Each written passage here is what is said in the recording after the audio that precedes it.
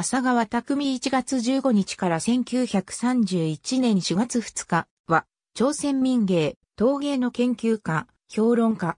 朝鮮半島で植林事業を行う傍ら、朝鮮半島の陶磁器と木工を研究紹介した。彼の墓は、ソウル郊外の防遊里共同墓地にある。父、朝川上作、母、K の次男として、山梨県北駒郡高村五丁田に生まれる。兄は、浅川白京。1891年には、村、三世尋常小学校に、1901年には、秋田尋常高等学校に入学する。1907年4月には、山梨県立農林学校に入学し、この頃に浅川正蔵と知り合う。同年6月には、メソジスト、甲府協会で受選。1909年4月には、秋田県大館営林署に就職。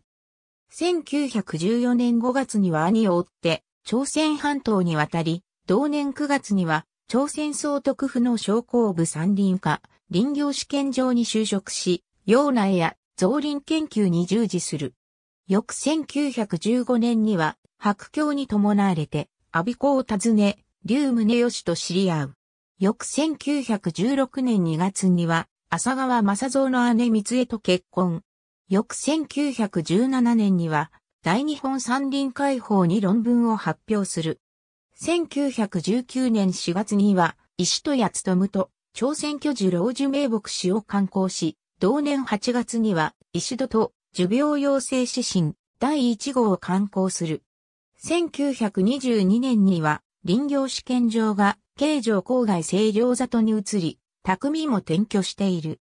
匠は、朝鮮の工芸に注目し、陶磁器や家具、民具の収集を行い、1924年4月には、柳の発案で、柳や兄の白鏡と共に、李朝王宮跡である、京福区内に、朝鮮民族美術館を設立する。